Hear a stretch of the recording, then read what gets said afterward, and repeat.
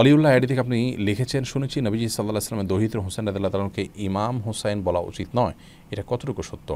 ভাই আলিউল্লাহ, ইমাম বলা হয় যাকে অনুকরণ করা হয়, অনুসরণ করা হয় ফলো করা হয় তাকে।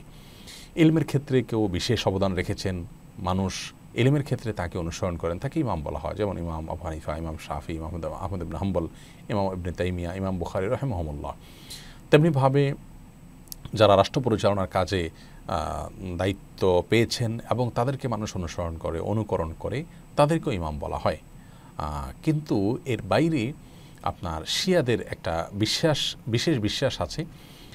বারো জন ইমাম সম্পর্কিত একটি হাদিস আবু দাউদে বর্ণিত আছে। সে সম্পর্কে আলোচনা জামাত ওলামায়করাম ব্যাখ্যা করেন এভাবে যে কেমতের আগে বারো জন ন্যায়নিষ্ঠ ইমাম আসবেন, তাদের মধ্যে থেকে চার খলিফা এসছেন।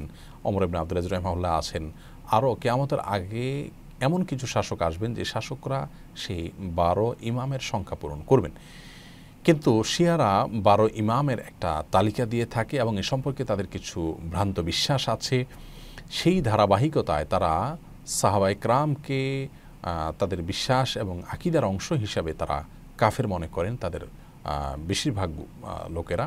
এবং তাদেরকে গালমন্দ করেন। বিশেষ করে অবকরদুল্লাহ তালাহনুকে অমরদুল্লাহ তালাহনুকে গালমন্দ করেন এবং তাদের ব্যাপারে শত্রুতা পোষণ করেন। আয়সাদুল্লাহ তালাহর পরেও একই অবস্থান নিয়ে থাকেন। এরকম আরও অনেক তাদের ত্রুটিপূর্ণ বিশ্বাস আছে যেটা কোনো মুসলমান গ্রহণ করতে পারে না। তো সেগুলোর বিপরীতে তারা আলেবাইদ তথা নবী আলাইসাল্লামের পরিবারের সদস্যদেরকে, বিশেষ করে আলিদুল্লাহ হাসান হোসেন তালা তাদেরকে তারা ইমাম বল ইমাম আলী, ইমাম হাসান, ইমাম হোসেন তো সেটার অনুকরণে যদি ইমাম বলা হয়, সেটি অবশ্যই অনুচিত কাজ হবে।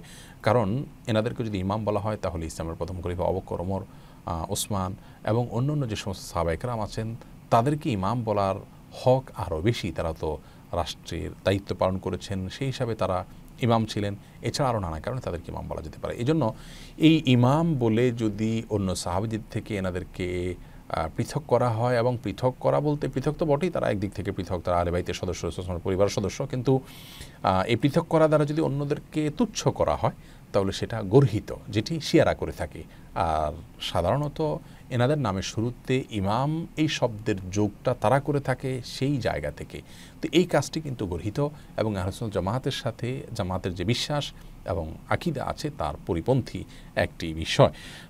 বাকি এমনিতে তারা অবশ্যই আমাদের ইমাম। আর আরেকটি কথা মনে রাখতে হবে আলেবাইদ বা নবী পরিবারের সদস্যদের প্রতি আমাদের ভালোবাসা থাকতে হবে। তা না হলে আমরা নিজেদেরকে ইমানদার পরিচয় দিতে পারব না। নবী আলাইসালাম তাদের প্রতি ভালোবাসা যেন আমাদের থাকে সেজন্য নির্দেশনা পর্যন্ত দিয়েছেন। কারণ এখানে আয়ত তার নির্দেশনা রয়েছে। অতএব সেটি সম্পূর্ণ ভিন্ন বিষয়। কিন্তু তাদের প্রতি ভালোবাসা বা ভক্তি প্রদর্শন করতে গিয়ে, ধারণ করতে গিয়ে আমরা অন্যদেরকে তাচ্ছিল্য করব বা তাদেরকে অন্যদের থেকে সম্পূর্ণ পৃথক করে এনাদেরকেই শুধুমাত্র অনুকরণী মনে করব, সেটি হলো গুমরাহি এবং ভ্রষ্টতা। তাহলে নৈ পরিবারের সদস্যদের ব্যাপারে আলোচনা জামাতের আকিদা হলো যে আমরা তাদের ব্যাপারে না সীমালঙ্ঘন করব, না তাদের ব্যাপারে কোনো প্রকার ত্রুটি করব। তাদের ভালোবাসা, তাদের প্রতি এক্সট্রা একটা দুর্বলতা এবং ভালোবাসা আমাদের থাকবে না। নবী আলাইসালামের পরিবারের সদস্য হওয়ার কারণে। কিন্তু তাদের ভালোবাসায়, ভক্তিতে সীমালঙ্ঘন আমরা করব না।